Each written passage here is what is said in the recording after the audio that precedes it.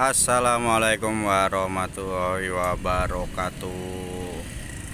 Ini update terkini di STA 44 Lubang Buaya yang bekas sekolahan SD Ini yang sisi sebelah kanan sisi R udah full di cor LC tadi malam yang sisi sebelah kiri sisi L ini masih digelar base coast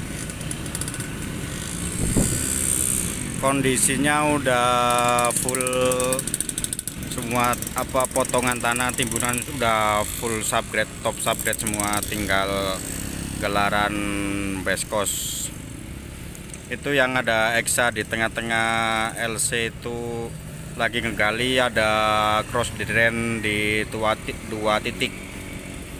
Jadi harus digali dipasangin RCP untuk saluran air. Begini kondisinya.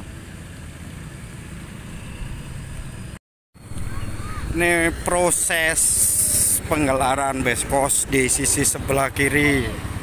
Ayo ayo ayo ini lagi dipadetin juga. Itu eksanya lagi ngegali saluran cross drain. Begini kondisinya ini. Masih proses penggelaran base coast di sisi sebelah kiri. Yang sisi sebelah kanan udah LC full. Ini lapi lagi dipasang RCP ada cross drain di sini saluran air.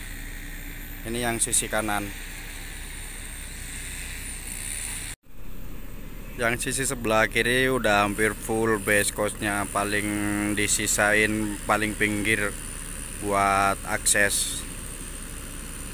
Ini juga udah persiapan rigid di sini ini pengeboran buat setik sama stek buat pemasangan dowel ini yang habis digelar beskot tinggal dipadetin pakai vibro begini kondisinya saat ini. Jadi rigidnya masih nunggu yang cross drain itu udah selesai ditimbun baru di rigid begini proses pemasangannya. Ini cross yang kedua baru mau dimasukin ini RCP nya baru satu. Dua hari tiga harian lagi kayaknya baru mulai rigid di area bekas sekolah lubang buaya ini. Ini masih ngecor masih di terus habis dicor ditimbun lagi di area bekas SD ini cross drainnya ada dua. Yang tadi satu udah dipasang udah dicor tinggal nimbun. Yang ini yang kedua baru proses pemasangan. Ini yang sisi sebelah kanan sisi R udah dirapiin ini pinggir-pinggirnya. Tinggal ntar di bawah ini ada saluran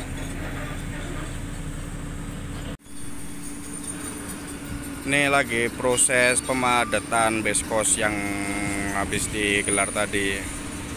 Dipadetin. Sekian dulu untuk update hari ini di area lubang buaya yang bekas sekolahan SD kondisinya seperti ini nanti di update lagi kalau udah mulai pengecoran rigid atau yang ini pengacuran LC nanti terima kasih